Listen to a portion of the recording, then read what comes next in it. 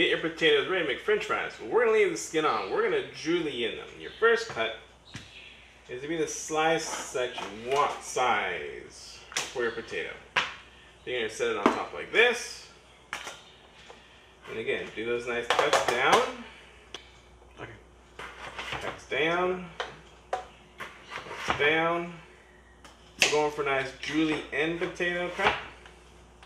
Now that you got all of these done, need to take off the ends, have to be over here. And you're just gonna slice them right through like this. Very good. Now we're gonna get to the. What the?